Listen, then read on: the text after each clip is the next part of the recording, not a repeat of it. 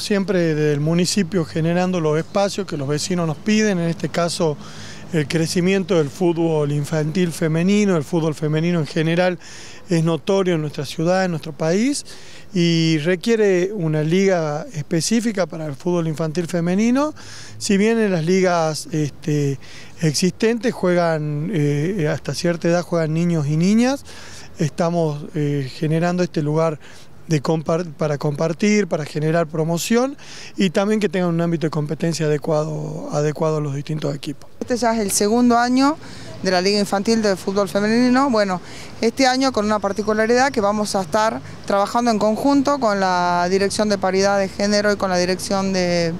Niñez y Adolescencia. Yo creo que sumar estas, estas direcciones a este evento es muy importante porque no solo acá vamos a ver la parte deportiva, la parte recreativa, sino creo que la, desde la, mujer hoy ha ocupado un lugar, está ocupando un lugar muy importante en la sociedad y creo que desde niñas, ya en este caso en el fútbol infantil, es muy importante este trabajo ¿no? en conjunto con estas dos direcciones y bueno, y creo que ya como segundo año este, la convocatoria eh, va a ser, eh, ya te lo va a explicar el subdirector general también, ya tenemos mucha, mucha mucha gente que ya se está acercando, los delegados de, los, distintos lugares, va a haber una reunión para, que esto sea y vaya creciendo año a año. Agradecer al, RIM 20 eh, por el espacio cedido para la Dirección General de Deporte, este espacio también que está en un lugar estratégico de nuestra ciudad. Eh, agradecer porque no es la primera vez que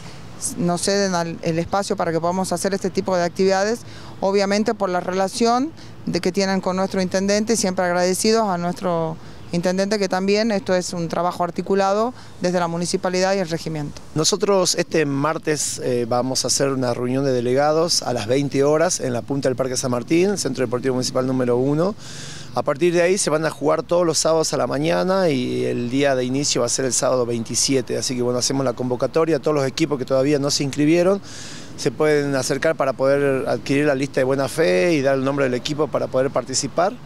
Eh, así que bueno, nosotros esperamos que siga creciendo esta liga, muy importante, el año pasado fue muy bueno el desarrollo.